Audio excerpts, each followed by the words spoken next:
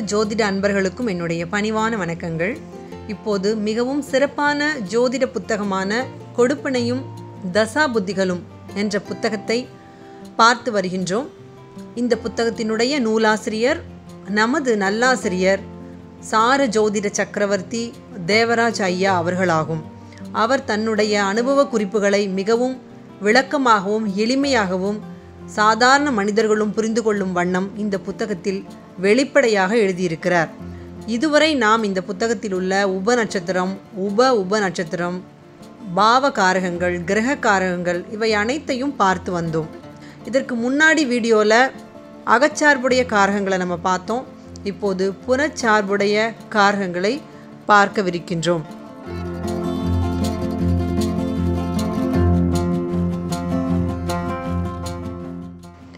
ஏற்கனவே சொன்னது போல அகம் தொடர்பான லக்னத்தை சார்ந்த பாவங்களான ஒன்று மூணு ஐந்து ஏழு ஒம்பது பாவங்கள் அகச்சார்புடைய பாவங்கள் இவை லக்னத்தை தலைமை பீடமாக கொண்டு இயங்குகின்றன.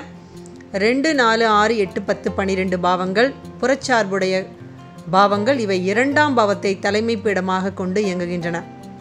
பொதுவாகவே ஒவ்வொரு பாவத்திலிருந்தும் எண்ணி வரக்கூடிய அதனுடைய மூன்றாவது பாவம் அதனுடைய ப பரிணாம பாவம்னு சொல்கிறோம் அந்த வகையில் ஒன்றாம் பாவத்தினுடைய பரிணாம பாவங்களாக ஒற்றைப்படை பாவங்கள் அமைகின்றன. இரண்டாம் பாவத்தினுடைய பரிணாம பாவங்களாக இரட்டைப்படை பாவங்கள் அமைகின்றன என்பது முக்கியமான ஒரு விஷயம். பொதுவாகவே நம்ம ரெண்டாம் பாவத்தில் நம்ம முகம் ஐம்புலன்கள் அனைத்தையும் நம்ம இருக்கிறத நம்ம பார்க்க முடியும். ஸோ ரெண்டாம் பாவங்கிறது மிக முக்கிய குடும்ப உறுப்பினர்களையும் குறிக்கக்கூடியது. அதாவது இரண்டாவது இரட்டைப்படை பாவங்களில் தலையாய பீடமான இந்த இரண்டாம் பாவமும் அதனுடைய பரிணாம பாவங்களான இரட்டைப்படை பாவங்களுடைய அகக்காரகங்களை ஏற்கனவே விளக்கமாக பார்த்திருந்தாலும் இப்போது அதனுடைய குறிப்புகளை நமது நல்லாசிரியர் அவர்கள் தொகுத்து கொடுத்திருக்கிறார். அதாவது இரண்டாம் பாவத்தில் நம்ம என்னன்னு சொல்கிறோன்னா ஜாதகரினுடைய கையில் இருக்கக்கூடிய பணம் அதே மாதிரி பணத்தை இவர் எந்த வகையில் பாதுகாப்பார் என்ற பாதுகாக்கும் திறன் தனம் வரும் வழிகள் அதே மாதிரி வரும் வழிகள் என்று சொல்வதை விட நம்ம சொத்துக்களாக சேமித்து வைக்கும்போது அந்த சொத்துக்கள் மூலமாக நமக்கு பணம் வரலாம். ஸோ அதை தான் நமக்கு வந்து இன்டைரக்டாக அது வந்து செல்லும் வழி. ஸோ பிரபாவ வழி வழிகளில் நமக்கு வந்து பணமாக திரும்ப கிடைக்கும். அதே மாதிரி எளிதில் பணமாக மாற்றத்தக்க பொன் பொருள்கள் உலோகங்கள் இவை எல்லாமே இரண்டாம் பாவத்தினுடைய காரகங்கள் ஆகும் அப்படின்னு எழுதியிருக்கிறாரு. நான்காம் பாவத்தினுடைய காரகங்களை தொகுத்து என்ன கொடுத்துருக்காருன்னா ஜாதகனுடைய பகுத்தறிவு. ஒன்பதாம் பாவம் என்பது நம்ம எப்போதுமே இன்ட்யூஷன் இயற்கை அறிவுன்னு சொன்னோம்னா அதிலிருந்து எண் எண்ணி வரக்கூடிய எட்டாவது பாவமாக வரக்கூடிய இந்த நான்காவது பாவம் பகுத்தறிவுன்னு நம்ம சொல்கிறோம் ஏன்னா எதையுமே ஏன் எதற்கு என்று கேள்வி கேட்கக்கூடிய ஆழமான அறிவு தான் பகுத்தறிவு. அதே மாதிரி அசையும் அசையாத சொத்துக்கள் தேவைக்கு அதிகமாக இருக்கக்கூடிய கையிருப்பு பணம். அந்த கையிருப்பு பணம் அதிகமாக இருந்தால்தான் நம்ம சொத்துக்களாக மாற்றி வைத்துக்கொள்கிறோம் அதுக்கப்புறம் ஆறாம் பாவம். பொதுவாகவே ஆறாம் பாவத்தை நம்ம உடல் உழைப்புன்னு சொல்லுவோம். அதாவது மாத சம்பளம் வாங்கணுன்னாவே நம்ம மற்றவங்களுக்கு கீழே அடிபணிந்து வேலை செய்யணும். ஸோ அந்த மாதிரி ஒரு அடிமை தொழில். சொத்துக்களினால் பெறக்கூடிய வாடகை. ஆ நான்காம் பாவம் என்பது சொத்துக்கள். ஆறாம் பாவம் என்பது அதிகப்படியான சொத்துக்கள். அதனால் அதில் வாடகை என்ற ஒரு காரகம். அதே மாதிரி திருப்பி தரக்கூடிய பணம். ஸோ கடன் என்ற காரகத்தினால் அது வந்து திருப்பி தரக்கூடிய பணம். எட்டாம் பாவம் வந்து ஆறாம் பாவத்தினுடைய பரிணாமம். ஸோ அதனால் ஆ ஜாதகருக்கு கிடைக்கக்கூடிய எதிர்பாராத தனம் சட்ட விரோதமாக கிடைக்கக்கூடிய பணம் இறப்பு அல்லது விபத்து இதன் மூலமாக கிடைக்கக்கூடிய காப்பீட்டு தொகைகள். ஸோ இதெல்லாமே எட்டாம் பாவத்தினுடைய வழிவேதனைகள் மூலமாக அல்லது வந்து ஒரு எதிர்பாராத ஒரு நல்ல கெட்ட சம்பவங்கள் மூலமாக நடக்கக்கூடிய விஷயங்கள் அனைத்தும் எட்டாம் பாவத்தினுடைய காரகங்கள். இதெல்லாமே திருப்பியும் நமக்கு குறிப்புகளாக கொடுத்துருக்கிறார். பத்தாம் பாவத்தில் ஜாதகனுடைய பொறுப்பு கடமை தொழில் தொழில் மூலமாக கிடைக்கக்கூடிய அந்தஸ்து பதவி அரசாங்கத்திடமிருந்து கிடைக்கக்கூடிய வெகுமதி. ஸோ இதெல்லாமே பத்தாம் பாவத்தினுடைய காரகங்களாகும் அப்படின்னு எழுதியிருக்கிறாரு. பன்னிரெண்டாம் பாவம் ஜாதகரின் முதலீடுகள்.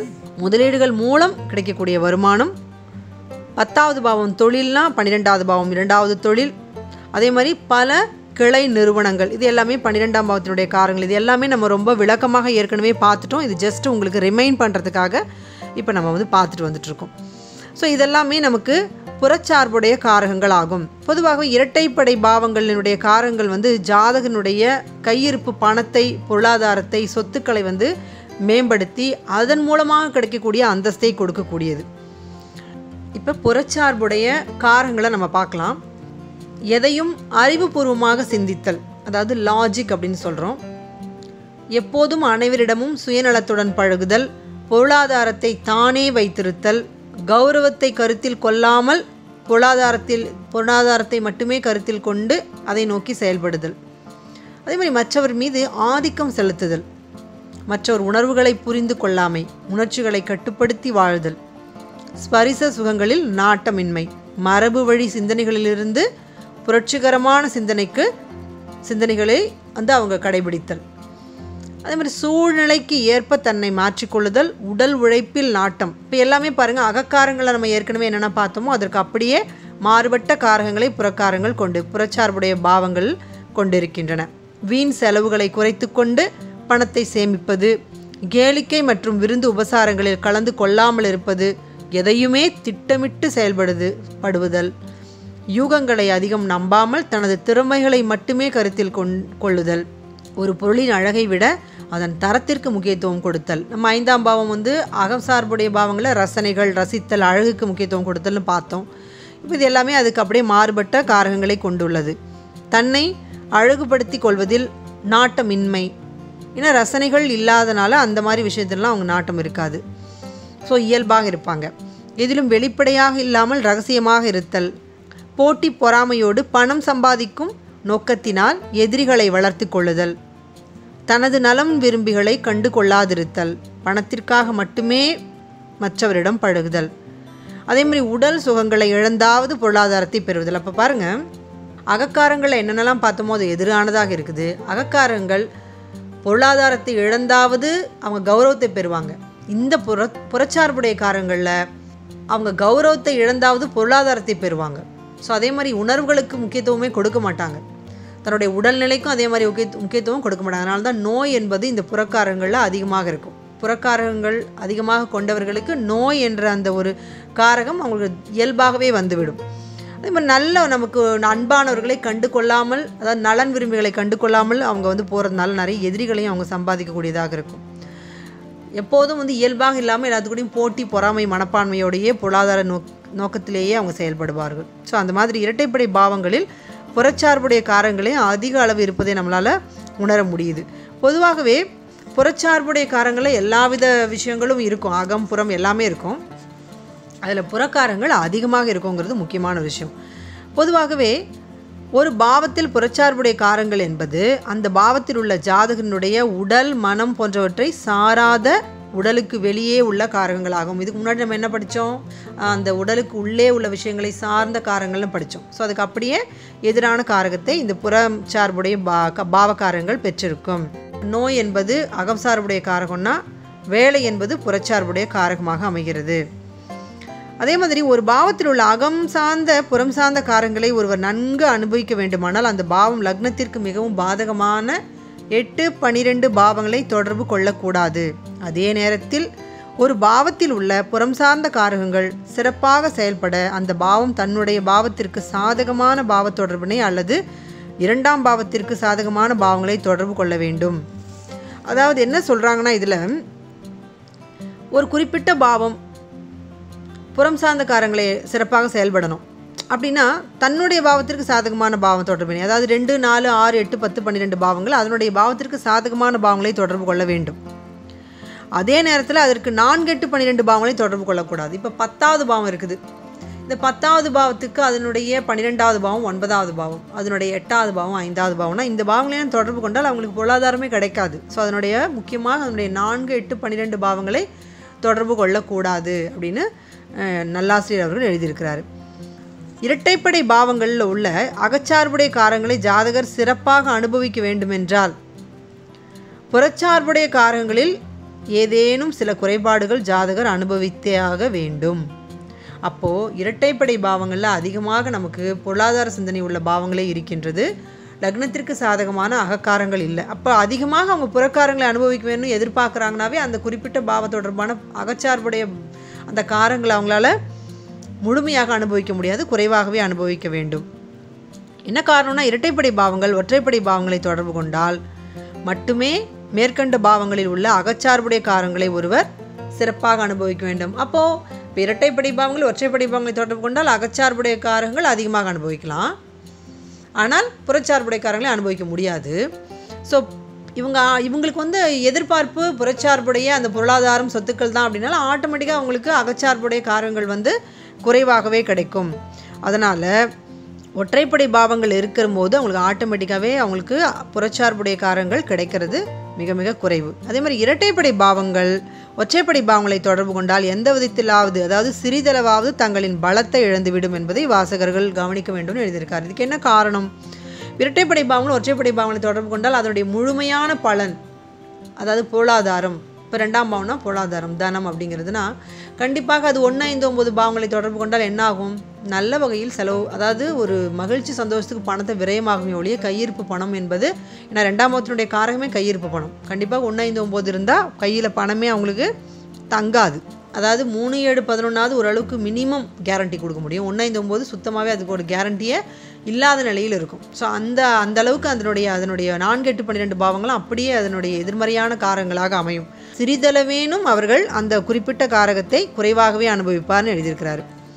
அதே மாதிரி கிரகங்கள் பொதுவாகவே பனிரெண்டு பாவங்களினுடைய காரங்களை அதாவது எல்லா கிரகங்களும் பனிரெண்டு பாவங்களினுடைய காரங்களை வைத்துள்ளது. என் அதாவது ஒரு பாவ தொடர்பின் மூலம் தன்னுடைய கிரக காரகத்தை எப்போதும் செயல்படுத்துங்கிறது நமக்கு தெரியும். பாவ தொடர்புங்கிறது இனிமேல் வர பாடங்களை நம்ம படிக்க முடி படிப்போம். ஒவ்வொரு கிரகமும் தான் நின்ற நட்சத்திரம் உபநட்சத்திரம் எதுவோ அதுவாகவே தன்னை மாற்றிக்கொள்ளும் என்பதுதான் சார ஜோதிட முறையின் அடிப்படை தத்துவம். ஸோ அதில் தான் நம்ம பாவ தொடர்புகள் என்ற அந்த நிலையும் வரும். அதெல்லாம் இதுக்கு மேலே போக போக நம்ம படிக்கலாம். ஸோ அந்த வகையில் ஒவ்வொரு கிரகமும் தான் எந்த பாவத்தை தொடர்பு கொண்டுள்ளதோ அந்த பாவங்களின் காரங்களை தன் கிரக காரக ரீதியில் செயல்படுத்தும். அப்போ பாவமும் கிரகமும் சேர்ந்து அந்த பாவத்திற்கு அந்த கிரகத்தினுடைய தன்மைகளோடு அந்த பா அந்த தொடர்பு கொண்ட பாவங்களுடைய காரகங்களை செயல்படுத்தும். அதே மாதிரி எந்த பாவங்களுக்கு எட்டு பன்னிரெண்டு பாவங்களாக அமைகின்றதோ அந்த பாவங்களை தன்னுடைய கிரக காரக ரீதியில் கெடுக்கும். அப்போது இப்போ ஒரு இதுக்கு உதாரணம் என்னென்னா இப்போ ஐந்தாம் பாவம் இருக்குது அதனுடைய தொடர்பு நான்காம் பாவம். இப்போ ஐந்தாம் பாவத்துக்கு சுக்கிரன் வராரு. சுக்கிரன் கலைகள் ரசனைகளுக்கு காரகன். ஐந்தாம் பாவம் கலைகள் ரசனைகள் காரகன். தொடர்பு கொண்ட பாவங்கள் நான்கு. அப்படின்னா அந்த அழகாக கலைகளோடு ரசனையோடு இருக்கக்கூடிய அந்த பாவம் அதனுடைய நான்காம் பகுதி தொடர்பு கொள்ளும்போது அப்படியே மாறுபட்ட குணத்தோடு செயல்படும். அப்போ சுக்ரன் வழியாக அவங்களுக்கு என்ன கிடைக்கும்? ஐந்தாம் பாவம் ரீதியாக சொத்துக்கள் கிடைக்கும். ஆனால் காதல் ரசனைகள் கிடைக்காது. ஸோ அதனுடைய அப்படியே அதனுடைய எட்டு பன்னிரெண்டாவது பாவத்தை தொடர்பு கொண்டால் அதை கெடுக்கக்கூடிய நிலையில் அந்த கிரகமே இருக்கும். அந்த பாவகாரக ரீதியில் அந்த கிரகமே அந்த கொடுப்பனையை கெடுக்கும் அப்படின்னு எழுதியிருக்கிறாரு. இப்போ ஒரு குறிப்பிட்ட கிரகம் தரும் பலன்களை அனுபவிப்பது லக்னமே ஆகும். அது நமக்கு தெரியும். ஸோ பன்னிரெண்டு பாவகாரங்களையும் அனுபவிப்பது லக்னமே. ஒரு குறிப்பிட்ட கிரகம் இரட்டைப்படை பாவங்களை தொடர்பு கொண்டால் அந்த கிரகத்தின் காரகங்கள் வழியாக பொருளாதார முன்னேற்றம் ஏற்படும் என்பது பொது விதி. ஆனால் இரட்டைப்படை பாவங்கள் லக்னத்திற்கு தீமை செய்யும் எட்டு பன்னிரெண்டு பாவங்களாக இருக்கக்கூடாது என்பது இங்கு வந்து ஒரு சிறப்பு விதி. இரட்டைப்படை பாவங்கள்லாம் ரெண்டு எட்டு பன்னிரெண்டு இரட்டைப்படை பாவங்கள் தான். ஆனால் எட்டு பன்னிரெண்டு வந்தாலும் அவங்களுக்கு வந்து பொருளாதாரம் கிடைக்குமானா கிடைக்காது. என்ன காரணம்னா லக்னத்திற்கு மிகவும் தீங்கு செய்யக்கூடிய எதிர்மறை பண்புகளை கொண்டதுங்கிறதுனால அது வந்து ஒரு வழிவேதனைகளை கொடுக்கும். ஸோ வழிவேதனைகளை கொடுக்கக்கூடிய இரட்டைப்படை பாவங்கள் லக்னத்திற்கு எப்படி நன்மை செய்ய முடியும்? அதனால் பொதுவாக எல்லா இரட்டைப்படை பாவங்களும் லக்னத்திற்கு லக்னம் தொடர்பு கொண்டுச்சுன்னா அல்லது எந்த பாவம் தொடர்பு கொண்டாலும் பொருளாதாரத்தை ஜாதகர் பெற முடியும் என்றாலும் கூட இந்த எட்டு பன்னிரெண்டை தொடர்பு கொண்டால் ஜாதகர் எதையும் அனுபவிக்க முடியாதுங்கிறது ஒரு சிறப்பு விதி அப்படின்னு எழுதியிருக்கிறார். இப்போ பொதுவாகவே நம்ம ஏற்கனவே பார்த்தோம் சூரியன் அப்படின்ற கிரகம் வந்து ரெண்டு ஆறு பத்து பாவங்களை தொடர்பு கொண்டால் அதனுடைய தலைமை பண்பு ஆளுமை திறன் அந்த ஒரு நிர்வாகத்திறன் மூலமாக சிறந்த பொருளாதார அந்த புற வாழ்க்கையை அனுபவிப்பார். அதே மாதிரி ரெண்டு ஆறு பத்துங்கிறது ஒரு புற வாழ்க்கையும் அதே மாதிரி முழுமையும் அகத்தை கெடுக்காத தன்மையும் பெறும். இது எல்லாமே சூரியனுடைய காரகத்தில் புற வாழ்க்கை எந்த மாதிரி இருக்குதுன்னு எழுதியிருக்கிறாரு. புறச்சார்புடைய காரங்கள் வழியாக சிறிதளவாவது ஒருவரது பொருளாதாரம் கிடைக்க வேண்டும். ஒரு பாவத்தில் அல்லது கிரகத்தில் உள்ள புறச்சார்புடைய காரங்கள் என்பது பெரும்பாலும் பொருளாதாரத்தை கருத்தில் கொண்டே அமையும். இப்போ சூரியன் ரெண்டாறு பத்துனா கண்டிப்பாக அவருடைய அந்தஸ்து கௌரவம் அந்த ஒரு தலைமை பண்பு மூலமாக நிச்சயமாக பொருளாதாரத்தை கருத்தில் கொண்டே அந்த காரகத்தை செயல்படுத்துவார். அதற்கு ஆப்போசிட்டான ஒன்று ஐந்தொம்போது பெறும்போது நம்ம ஏற்கனவே பார்த்தோம். நிச்சயமாக அவங்களுக்கு ரெண்டு பத்தை உடைப்பதால் அவங்களுக்கு எந்த பொருளாதாரமும் கிடைக்காது. அகக்காரங்கள் மட்டுமே சிறப்படையும். அப்படியே சூரியனுடைய அந்த பண்புகள் அப்படியே எதிர்மறையாக எதிர்மறையாக அப்படிங்கிறத விட ஆளுமை திறன் அந்த நிர்வாகத்திறன் அப்படிங்கிறதெல்லாம் எதுவும் செயல்பட முடியாது. ஐந்தாம் பாவங்கிறது என்ன நிர்வாகத்திறனே இருக்காது. ஸோ ஒன்பதாம் பாவங்கிறதுக்கு பொறுப்பு அந்த அந்த தன்மை தலைமை பண்புக்கு வகிக்கக்கூடிய நிலையில் அவங்களுக்கு இருக்காது. ஸோ அந்த குணங்கள் வந்து வேறு மாதிரி செயல்படும். ஏன்னா அது அகத்தன்மை பொருந்தியதாக இருக்கின்றது. அதனால தான் சூரியன் ரெண்டாறு பத்து பாவ தொடர்பு பெறும்போது சூரியனுடைய புறச்சார்புடைய காரங்கள் மூலம் ஜாதகருக்கு அபரிவிதமான வருமானம் வரும். மேற்கண்ட பாவங்கள் லக்னத்திற்கு எட்டு பன்னிரெண்டு பாவங்களாக அமையாத காரணத்தினால் ஜாதகர் தன்னை அதிகமாக வருத்தி கொள்ளாமல் பொருளாதாரத்தை பெறுவார்.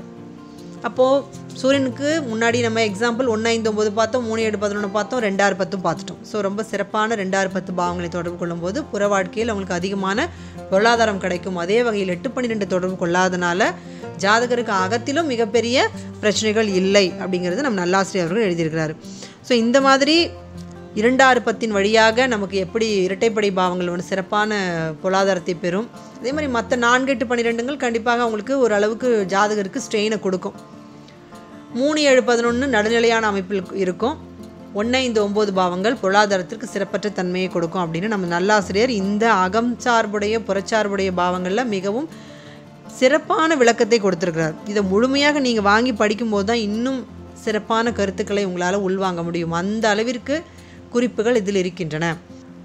இதுவரை கொடுக்கப்பட்ட குறிப்புகள் உங்களுக்கு பிடித்திருந்தால் லைக் பண்ணுங்கள் ஷேர் பண்ணுங்கள் கமெண்ட் பண்ணுங்கள் முக்கியமாக உங்களுடைய நண்பர்களுக்கும் உறவினர்களுக்கும் இதை வந்து ஷேர் பண்ணி இந்த அரிய சிறப்பான ஜோதிடம் அனைவருக்கும் பரவுவதற்கு துணை செய்யுங்கள். நன்றி வணக்கம்.